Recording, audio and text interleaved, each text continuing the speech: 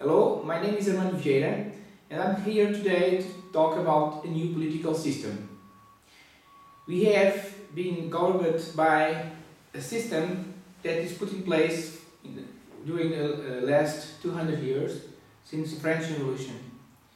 It is not a good system. It was built for a society where there is almost no communication, where citizens are not well educated. Today we have a completely different society. We have very educated citizens, we have very powerful telecommunications, we have the internet, we have the power to uh, create our ideas, to share our ideas, and to uh, put this on the, our service. We come to the era of Web 2.0 where we can have a saying in almost everything.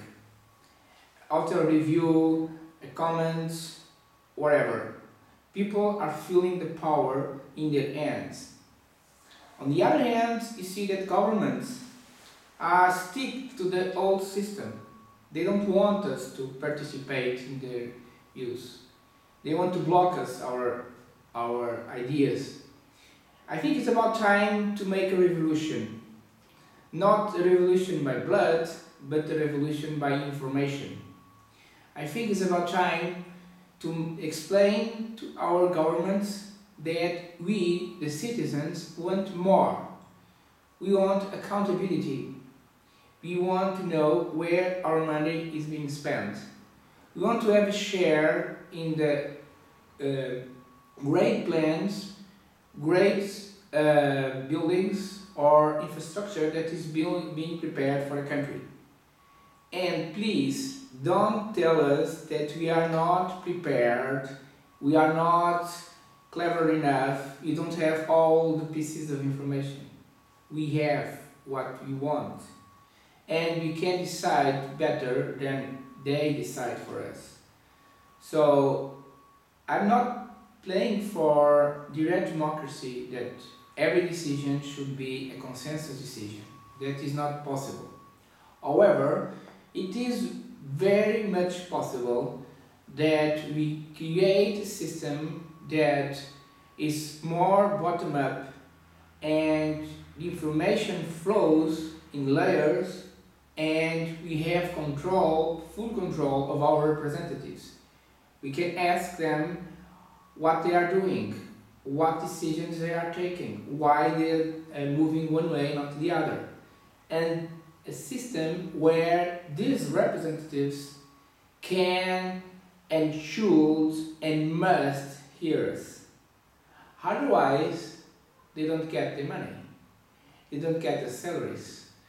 So the performance is indexed to this behavior, to this accountability of these uh, voters. Furthermore, I've been in touch with some projects, international projects, where we are building an infrastructure to help citizens put forward some laws, some legislative pro proposals. It is not that far-fetching. If you look at Wikipedia, you see that a crowd of people can have result better than a small bunch of academics. We have seen projects like Linux and other open source projects where lots of people working together in a collaborative way can have something that is sometimes better than uh, projects that are being bottom, uh, top down. So it's about time to explain and to demand from politicians that we want more for democracy.